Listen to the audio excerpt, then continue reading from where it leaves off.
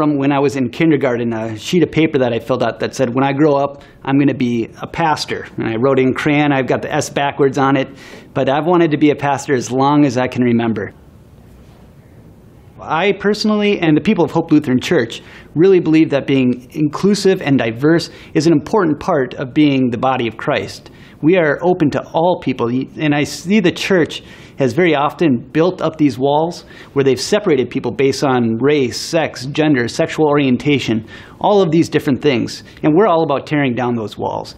Yeah, we at Hope Lutheran Church care very deeply about the people in this valley and around the world. But we partner with the Coachella Valley Rescue Mission, the Galilee Center, and other organizations to help provide the services that they so desperately need. What we do is we gather different items every month for the Coachella Valley Rescue Mission whether that's snacks, water, and my favorite is Undie Sunday, where we gather thousands of pairs of underwear and socks to provide the people who are without. So helping the people in this valley is a really important part of who we are as a church. I'm originally from Minnesota. I lived out here from 2008 to 2012.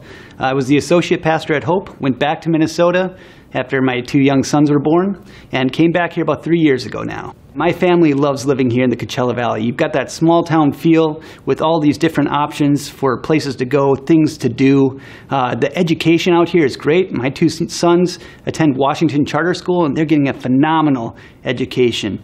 And so it's really a great place for young families. Not only that, but unlike LA, Orange County, and San Diego, you can afford a home out here and a standard of living that's much nicer than where you can other places in Southern California. And that makes Palm Springs area and our valley a great place to be.